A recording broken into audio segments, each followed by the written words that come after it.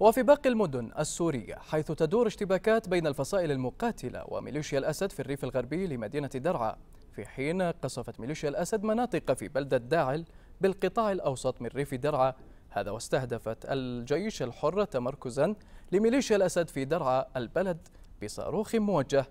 وفي محافظة الرقة حيث تتواصل الاشتباكات بين قوات سوريا الديمقراطية من جهة وميليشيا الأسد من جهة أخرى وذلك في الأطراف الجنوبية لمدينة الطبقة هذا وقصفت ميليشيا الأسد مناطق في بادية تدمر بالريف الشرقي لحمص في حين استهدفت ميليشيا الأسد بالرشاشات الثقيلة أماكن في منطقة الحول الواقعة في الريف الشمالي لحمص.